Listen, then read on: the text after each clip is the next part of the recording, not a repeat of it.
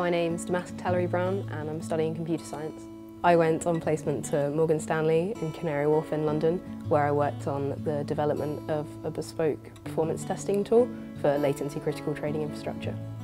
While I was applying to placement I had a lot of support from the Faculty of Science placements team. They reviewed our CVs um, they told us which organisations we should specifically target when we told them what we were interested in.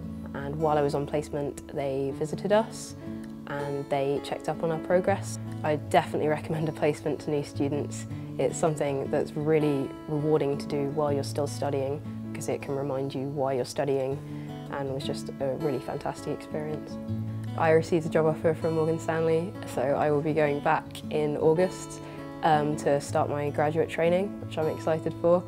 And um, I'll probably be going back to the same area I worked in on placement, but there's the freedom that I could move around if I wanted to try something else.